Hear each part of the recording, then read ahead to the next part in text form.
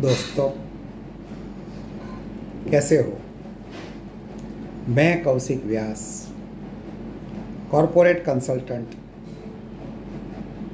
motivational speaker educationalist आज शुभ अवसर के ऊपर बहुत बढ़िया टॉपिक लेके आया हूँ कि जब आपको सफल होना है तो ज़िंदगी में दूसरों से प्रभावित होके जो काम करोगे, कभी सफल नहीं होगे। साथियों,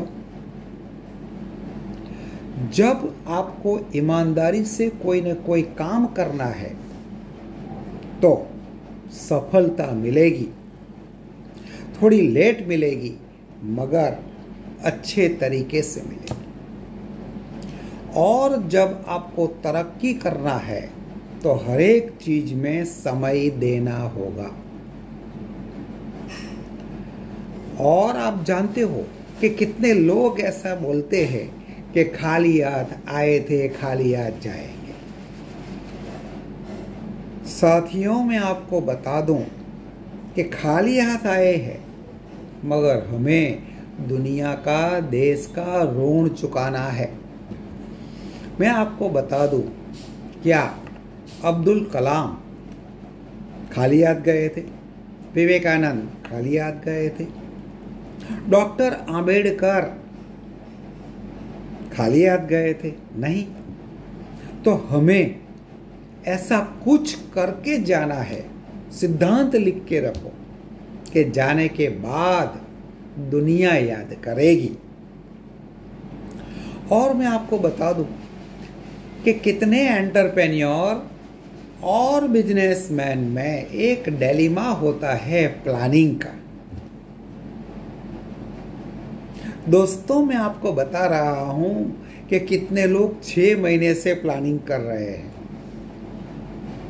मगर वो प्लानिंग सक्सेस नहीं होता। इसमें बाधाएँ होगी, कुछ ना कुछ प्लानिंग में गड़बड़ी आएगी। सो आज मैं आपको बता रहा हूँ कि ज़्यादा सोचना, ज़्यादा प्लानिंग करना वो मायने नहीं रखता। मगर एक बार आप स्टार्ट करोगे तो आपका एक्सपीरियंस गिना जाएगा। दूसरे से आप आगे रहोगे और जब जब आपको एक्सपीरियंस होगा हाँ उसके साथ कितनी बार ठोकरें भी आएगी। जब तक पत्थर पे चोट नहीं लगती, तब तक वो मूर्त नहीं बनती। ऐसे जब कोई ना कोई काम करते हो तो सफलता के पहले आपको निष्फलता भी आ सकती है। चोट भी लग सकती है। साथियों, कोई भी फ़िल्म में अच्छा रोल वो ही कलाकार को, अदाकार को दिया जाता है, जो उसके काबिल होता है। ऐसे हम भी, ईश्वर ने हमें जो यूनिक बनाया, उसने सफिशिएंट टाइम लिया है हम, हमें बनाने के लिए। और जब ईश्वर आपको कोई ना कोई टैलेंट देते हैं तो उसका यूज़ आपको करना है। मगर हम क्या करते हैं कि जब ऊपर वाला खुशी देता है तो थैंक यू बोलना भूल जाते हैं। और जब आपके ऊपर दुख आता है तो बोलते हो कि भगवान ये क्या कर डाला? ऐसा मत करो। अपनी जो भी काबिलियत है, उसको बरकरार रखो। काम करो और आगे बढ़ो। आपको कोई ना कोई ज़िम्मेदारी जब कोई देता है तो आपको टेस्ट करके ही देता है। दुकान वाला, जब कोई भी आइटम आपको देता है, कोई बर्तन देता है तो पटक पटक के दिखाता है कि सही है। हम भी कुछ ना कुछ खरीदने जाते हैं। तो चार बार, पाँच बार उसका टेस्ट करते हैं। तो साथियों, मैं आपको दूसरा सिद्धांत बता दूँ।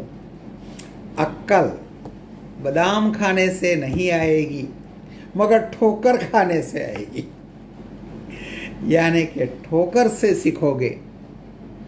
ओ पूरी ज़िंदगी में सफलता मिलेगी।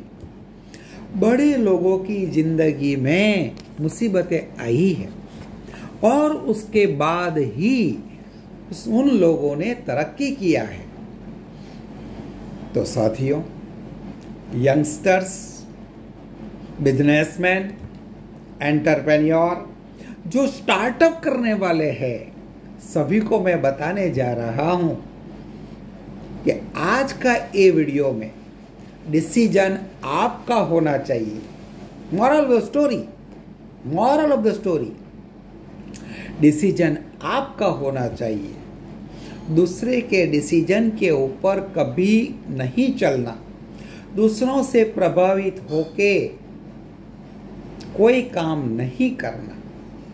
जब आगे बढ़ना है, अपनी टैलेंट का यूज़ करो। अपने नॉलेज का यूज़ करो, ठोकर आएगी, इसमें से सीखो और सफल रहो। तो आज का ये वीडियो साथियों, आपको अच्छा लगा है तो शेयर करो लाइक करो सब्सक्राइब करो। और हाँ ऐसे ही नए नए टॉपिक के वीडियो सुनने के लिए, देखने के लिए बेल आइकन उसको दबाओ। थैंक्स अलॉट धन्यवाद।